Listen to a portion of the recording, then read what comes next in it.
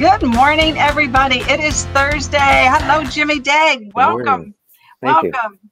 So, um, we've got a lot to cover today. We're going to talk about the stats. We're going to talk about what the Department of Justice just did for us. We're going to talk about an item of value. We're going to show a video, and then we're going to talk a little bit about YouTube. And so away we go. So the stats, yeah, we're down to uh, 16 days of inventory. Um, nervous, nervous for me, nervous for me. You know that. I don't like that. Um, here they are. And we listed 136 homes yesterday, which I'm very happy because we put 111 under contract. So we got a little bit ahead of the game. Uh, I don't know, uh, but we're still selling. We closed 82. And Jimmy, I've been, um, May doesn't, the May stats don't really mean too much right now because it's too early in the game. But you know, in April we sold 155 homes a day. Incredible. That mm-hmm. that that's got to be one of our best months. Right. The uh, million dollar homes, uh, 507 have sold um, this, through May of this year, compared to 618 all of last year. And how many were sold in December? Um, it was 130. 130. Yeah. So most of their, well, that's what 20, almost 20% mm-hmm. was sold in December of last year's figures, and we're already 82% of last year's figures with 507 sold, and there's 372 active. So they don't have a lot of active homes either, but at the rate they're going, um, they're going to be, uh, you know, in the same boat we are with available homes. So, well, you know, Blue Heron just had a, a grand opening of the house they just built up on the hill. Thirty million dollars. They're asking for this house. Thirty million. Oh my gosh! Wait, do we not start? My thing says error occurred, but but it it gave us a countdown. And Karen is here. So Karen, let me let me double check everybody. Okay. Uh, I was saying to Jimmy that you know these. Uh, Karen, ask Karen if she's here. Karen, can you see us? Uh, I don't, did she comment? Karen, can you see us? She said so. Let me just make sure real quick. And Facebook user just came on, so they just said hello. Okay, so hello. So you can hear us. Okay. Yeah, they make so many changes to these platforms, and uh, so uh, it's not going to work for me. I don't know why. Right. Okay. Anyway, so here we are. Um, yes, Karen. Yes. Okay, good. I don't know why it's saying that. Um, but anyway, they improve their platforms constantly, and so there's glitches every once in a while. However, uh, we were talking about. Go ahead, Jimmy. You were talking. Well, just the stats, like you said, the stats. Um, that Blue Heron opened a, a new high-end home, thirty million dollars. That's wow. the asking price. We'll see what happens. And then I heard that there, I think it was D.R. Horton. I don't know if Frank's here today. He usually uh, corrects me or helps me out with my uh, information if I get it wrong. But in passing, an agent said that they, I think it's D.R. Horton, just opened a new homes subdivision and it's only for first time home buyers. I good think that's them. brilliant. I think yeah, that's brilliant. Yeah, that's nice because the cash buyers are knocking them out of the ballpark, you know, mm-hmm. with the offers. Mm-hmm. So um, yeah, I'm I'm really I think that is just brilliant. I don't know, I can't say any other words except it's brilliant. And the good news today is, and I have to shout out to Tammy Compton. Tammy, uh, last night at 11 o'clock, she texted me and said, Did you see the announcement that the uh, National Association of Realtors just uh, posted? And so, you know, five o'clock this morning, I'm looking at it and I'm thinking, Oh my goodness. And so, what has happened, everybody? Very important. Um, the U.S. District Court judge ruled Wednesday that the CDC eviction moratorium is unlawful. Striking down the ban and delivering relief to housing providers, that's our investors and some of us uh, who haven't been able to collect rent from struggling tenants for more than a year. The U.S. Department of Justice already has filed an appeal. Um, in, in the judge's 20 page ruling, she quote, this is a quote it is the rule of the political branches and not the courts to assess the merits of policy measures designed to combat the spread of disease, even during a global pandemic. The question for the court is a narrow one. Does the Public Health Service Act that that uh, I think Trump uh, put into a for, put into force grant the CDC the legal authority to impose a nationwide eviction moratorium and Judge Dabney said it does not. So that is such good news for us. I mean, I'm sure there's been a lot of investors and uh, uh, and even people that here's the other thing, Jimmy, that I just now came to my mind. Think about the sellers that want to sell their home or want to buy a home and make their home an investment home, but don't want to because of, of um, this edict to uh, not allow people to be evicted. I'm well, sure that crosses the mind of many smart people. Sure. And you and I have a very important meeting tomorrow morning at 10 o'clock with some property managers that are in the thick of this. It'll be interesting to see what they have to say about this. We'll get some very educated, knowledgeable, on top of everything opinions tomorrow with the, the guests that you've invited to that thing or with some smart people are going to be there. I'm looking forward to that. Yes, yeah, and I and I understand that the uh, new home sales, um, a lot of the new homes are um, selling to investors. Mm. Yeah, and so uh, that might even increase the new home sales. I mean, we've sold 5,328 new homes so far this year, which is an average of uh, 1,200 and what about 1,215 homes a month? Yeah. I mean, that's fantastic. And I'm going to post that in the group as well so you can see um, the statistics by builder. And, and last year we did about 900 a month on average. Yeah. So, so, so 1200 a month is that's up by 33% new homes. Yeah, it's incredible. I mean, the things that are going on um, are just. You, you've brought this up numerous times. We're going to hit some affordability issues here, and that's going to slow things down. That's going to make sellers say, well, you know what?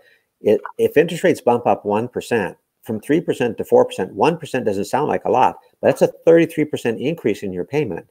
That's going to hit some affordability issues and so it's going to maybe take some of the sellers out of the complete driver's seat, and it's going to make some buyers. It's going to push them out of the market. And this is this has been your concern about you know an imbalanced market that we have. It's going to correct itself. Yeah, yeah, and and the fact that one of the builders is is allowing first time home buyers to uh, only to buy those homes is also going to probably probably I would guess a lot of those first time home buyers aren't going to be making offers on homes that are resales if they know that they can go someplace and be honored as first time homebuyers only. Mm-hmm. So I think that's uh, that, we'll see. I mean, all these things are going to add to the momentum of the market and the balance. Well, and what's interesting is everybody's scrambling to try to figure this out, and everyone is guessing. What you have to do is really focus on what Buffini's teaching us. Go to your main people, stay in touch with your main people, so that you're not displaced by some market shiny object you got to keep on to calls, notes, pop-bys, DMs, your your five five five five program. You're keeping right. in touch with the ones that matter. Exactly, exactly, and and we talk about you know the five five five five for the social media connections, and then also you know three times a month you do you've got to do your phone calls, you've got to do your pop-bys, and you got to do your email. Which if you're agent formula, we do it for you, but you also have to communicate uh, with uh, uh, with sending people things like this item of value for this month. Great segue, Jimmy. This is the hidden perks of great credit. Um, and that's the one side of it. And the other side is tips for building excellent credit. Cool. And go ahead. That, that's just cool. That's just a great piece. It is. And we, uh, uh, if you're a property manager, like we email this out to all of our owners and our tenants. And so the tenants uh, get something from us every month, an item of value. And a lot of uh, the things this year have been about credit, have been about savings, have been about buying a home. And uh, one of them was about selling a home. So it crosses the, it crosses all the the different topics that you know either a tenant's thinking about, an owner's thinking about. Um, and then I also send this out to my agents, Jimmy, mm-hmm. so that they can use it as well um, you know, in their marketing. And I put it in the group. So I'm trying to spread it around so we can all get all this good information out to people who have questions about our industry. So that's my purpose for doing all that. And there was an article in Forbes magazine last week that said that savings rate went right up while people were locked down. They they didn't go out, they didn't spend as much money. So we've actually saved more money. So people that had no money now they have some money. And you know, we talk about the economy, and the economy is on fire. It really is because to that point, um, pre-pandemic, the the um, I think the the one it was 1.2 trillion dollars the Americans had in savings, and now it's over two trillion. So people have been saving their money. Yeah, and that that strengthens the economy as well as. Um, I think the stats said also that people are putting twice as much down on homes that they're buying. So, you know, all around we are just making us ourselves a very solid economy. Well, when you say a trillion, you know, a billion is a thousand millions, and a trillion is that a million millions? No, I think it's a thousand, isn't it? No, a billion no, is a thousand millions. So a billion is a thousand millions, because a hundred wow. million is a hundred million. A billion is a thousand millions. A trillion is a million millions. Wow, That's I know. Cool. When we throw out this T number, we we we hear this number, but we don't. It's almost impossible to conceive of this in our head. Yeah. oh my gosh. I just wanted to give kudos here to Karen and uh, the Facebook user. Um, I don't see Frank today. Um, but yeah, I mean, a million. Millions. A million millions. Wow. Can you believe it? Anyway, I mean, our savings has almost doubled, which is yeah. incredible. And then I think I did say this to you the other day that the Federal Reserve has, or the um, Fort Knox has uh, over 14 trillion in gold. So that's, that's just know, a cool thing to know. That's just a cool thing to know. yeah, we the gold's still there. the gold's still there. Nixon, you know, uh, gave up the uh, gold backing of the dollar, but he kept the gold in the treasury. So that's good. that's good. That's our money, Jimmy. That's our money. Let's yeah, go get yeah. some. if we ever had to really pay back some stuff, we had the money to do it. right. All right. So, Jimmy, today we're going to talk. Uh, yesterday, I had part one of YouTube, how you set up your channel and uh, some of the things that you need to do. Um, and one of the things that uh, we talked about was, you know, the the what are you going to talk about? And I gave some ideas. You know, you need like a, do three topics and do three videos, and batch them. In other words, do them offline and then you can upload them um, at, if you want to edit them or if you want to add something to them if you know how to do that or if you know someone who knows how to do that that's fine if you don't it's fine just to be authentic and upload them mm-hmm. and um, so so there is a, a class today in law by jc melvin and where is his video i had it i had it where did it go where did it go here it is. Things hide from me, and I. okay, we're gonna watch this. This is so cool.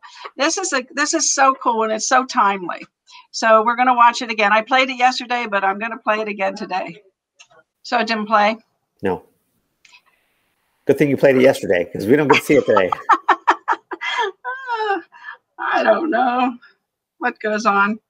Um, anyway, the the point is that you know when do you want to sell your house great and the and the answer is now but the point is that they they did something funny and i think that people should think i mean you can do this yourself you know mm-hmm. get a partner and you can do the same thing you know um, you know the great jimmy Dague right and then you can dress up and somebody can ask you the question and you can pop it out there i just thought that was really a cool just you know and and if you and Jimmy, um, J.C. Melvin, and I think it's Matthew Peters or Peter Matthews. I, I get them twisted. But anyway, their YouTube channel, they did this in April of 2014.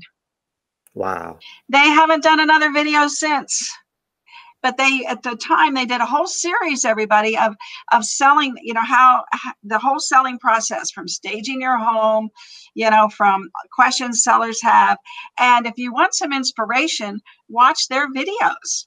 Mm-hmm. go to their channel jc melvin's channel and watch their videos on sellers and get some inspiration. Um, and let me get this crawler off of here Well, if you don't um, have your law and legislative credits either, I, this is the first time JC's ever taught a class for agent formula. Yes. And and he's really skilled at this topic, this this law and legislative. This is this is his wheelhouse. So if you if you don't have time to show up, it starts at 10, which is yes. 20 minutes from now. Spend a couple hours online, zoom in, just take the class. You're, you're yeah. gonna pick up a lot from that class. It's really, really worth taking. Absolutely. So Jimmy, we're going to talk a little bit now about uh, YouTube. So yesterday we we told everybody about setting up their channel, about getting some topics ahead of time, and about the intro, the uh, the meat of it, and then the outro. So that just the basic structure of a video. And today we're going to talk about how to increase your video views on YouTube. So once you set up your channel, then you need to um, get people you know more people to view your videos so here's a few tips um, I have time, I think, for a few. And uh, I think my YouTube is going to go into YouTube number three show because uh, of all the breaking news we had to discuss today, which is exciting. So anyway, and that's something else you can do. A, you can do a video about anything. Yeah. So anyway, so so you have your videos up on YouTube. Number one, promote your YouTube videos outside of YouTube. So use your social media and email as a way to distribute those YouTube videos to drive more traffic to your YouTube channel, but then also to show people what you're doing. You can share that YouTube link on Instagram, LinkedIn, Twitter, Pinterest, and you can email it in your newsletter. So it can be part of your tagline. Watch watch this week's um, selling tips video. Why and then, and then next next week can be watch this week's buying tips video. Mm-hmm. So anyway, so that they go to your YouTube channel and you get views. And guess what, Jimmy? Consistency counts. Mm-hmm. Yeah. of course. So pick a day, you know, once a week to publish your videos. Let people know when your videos will be published. So I send out reminders all the time when I'm going live. Mm-hmm. Set aside time once per month to batch create your videos. And I mean, that's a great idea mm-hmm. because you can batch create your videos for YouTube. And then because you've done that, now you can go live with the same thing on Facebook or LinkedIn, uh, or you can even go live on YouTube. So if you wanted to, but the point is if you batch create you start getting more comfortable with your delivery right. and with yourself right? You know and and somebody you know told me a long time ago it was marketing max my moderator on saturday. He says ruth why don't you do videos? And this was like four years ago before i, I started doing them so regularly. And i said well i don't like the way i look.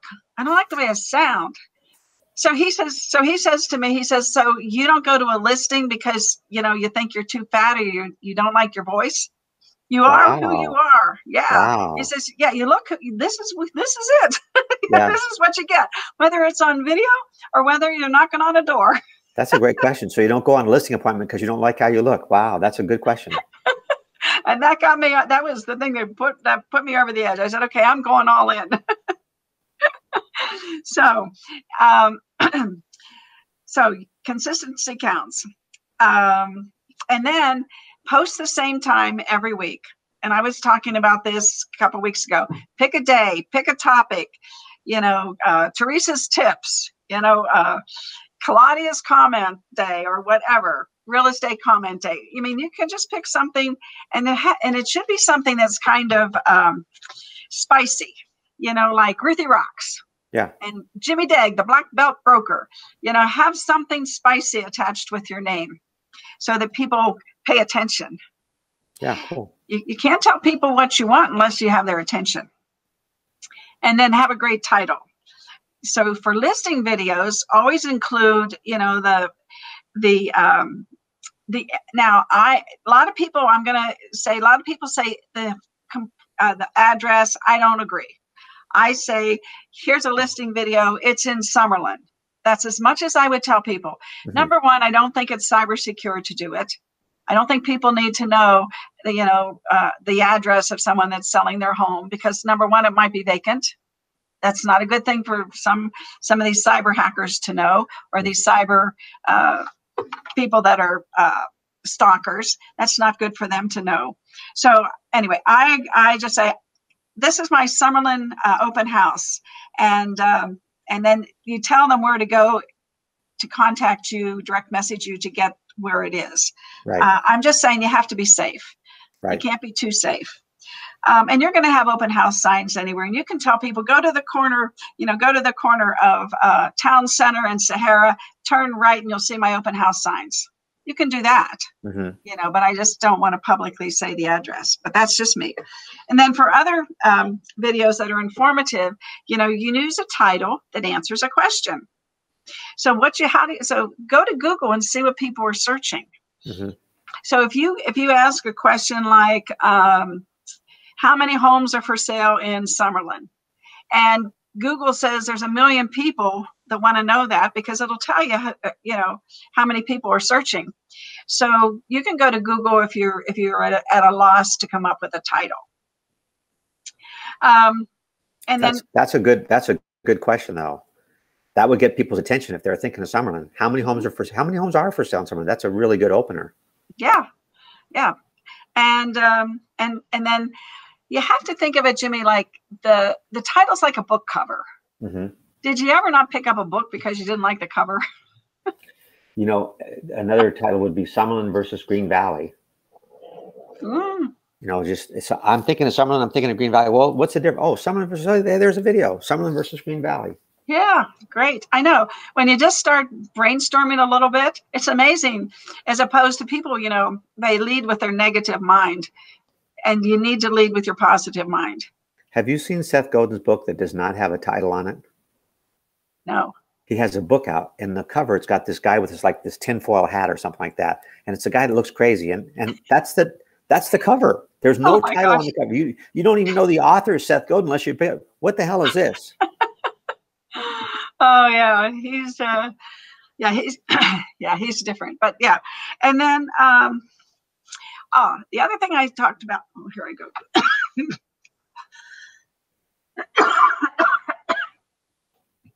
you know, I talk too fast for myself. I do. You know, some recordings I speed up. Some recordings I might slow down a little bit. Let's see, where's my button to slow down this talker? and that's that's what makes me cough. So slow down, Ruth. I'm always worried about taking people's time. Um, so anyway, what we talked about yesterday uh, a little bit was a playlist. So on YouTube, the the first uh, menu item is videos. The second one is uh, playlist, and people click on playlist. So if you go to my YouTube channel and you click on playlist, you're going to see the MLS stats, and we cut the the other part of the video off, and then we have you know the full show the full show uh, and the complete show, I should say. And then we have uh, community videos and so on and so forth. But the first two, um, you know, are cat. Everything is categorized because some some people don't care about you know real estate, but they care about the stats. They don't care about the things you and I talk about, for instance. You know, they don't care about learning how to use YouTube, but they do want to know what the stats are. So we started cutting the the show in half or in thirds and just posting the MLS stats on um, one of the playlists. Mm-hmm. And we got we started getting a lot more viewership. Mm-hmm. So and it's easy to trim a video. I mean, if you can cut a piece of paper, you can cut a video. Well, and that's CRM. That's managing the relationship with the customers, giving them what they want. Mm-hmm. So they don't mm-hmm. have to watch 30 minutes if they only want 10. Exactly. Yeah. Exactly. And they'll pass over something if it's too long. So then you need a detailed description. If you go to my page again and click on description, you need to see that it has keywords about what I'm talking about, and then it has all the places that they can go to, you know, to for more information with little green check marks. Um, if you go to um, Gary Vee's channel and you look, click on description, you'll see he does the same thing. And like if you've written a book or you're or or you have an open house or something, you can put a check mark and a link there to my weekly open house or something. I mean, but you need to have things in the description because that's how Google determines um, if I want to what I if somebody wants Las Vegas real estate and then they see that they read that description to find out what to put in front of you. the, the consumer. So your description has to be very descriptive with keywords. Well, and that's a pretty big endorsement when Gary Vee is copying you. yeah, right. I like that twist. I'll go with that. Oh, yeah. okay, and then uh, the links. You want to put other links um, in your description, and you want to have a call to action in there so people know you know where to find you. Because once they, a lot of people click on that description, they want to see that those things because they know if they're watching YouTube, they know that that's what's in there. Um, and then Rev, Rev.com. You can take that video, you upload it to Rev.com, and it will do a caption on your video if you want. It's a dollar and a quarter. Um, um, it's a dollar and a quarter a minute to caption it, and also you get a transcription. So now you can take that transcription and you can actually use that for your description. so you take the transcription, which they transcribe everything you're saying, and human human beings do it. It's not uh, a robot. And and then you you paste that in your description of your video. Now people you know whatever you're talking about people are going to know because all the words are in there because they search by you know the topic they want to know about.